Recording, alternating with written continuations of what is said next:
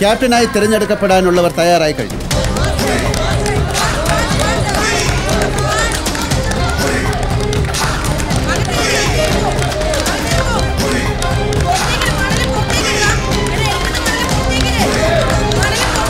ആരായിരിക്കും പുതിയ captain? Bigg Boss Malayalam season six ഇന്ന് രാത്രി ഒൻപത് മണിക്ക്.